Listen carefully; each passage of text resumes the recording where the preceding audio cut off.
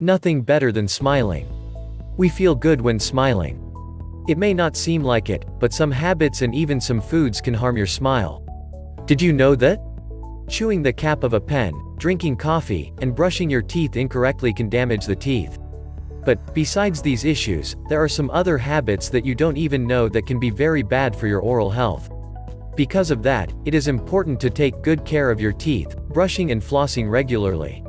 See 5 common habits that are for your mouth. 1. Drinking water and lemon. Water with some lemon is one of the best things to improve your immune system and your general health. However, the juice of citrus fruits weakens the enamel of teeth. 2. Brushing your teeth right after eating. Do you usually brush your teeth right after finishing your meals? Avoid doing that from now on. 3. Using a brush with hard bristles.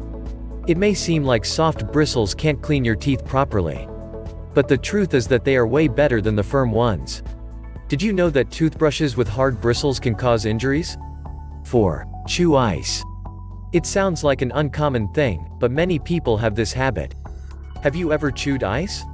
If you like to chew ice, stop doing it. 5. Drinking wine. You certainly know that wine contains substances that increase the good cholesterol and improve heart health. But, when drank little by little, it can compromise teeth health, in a similar way as water and lemon. So, do you have any of these habits? If you do any of these things and think it may be harming your smile, talk to a dentist to learn how to improve your oral health. Thanks for watching. Please subscribe and share it.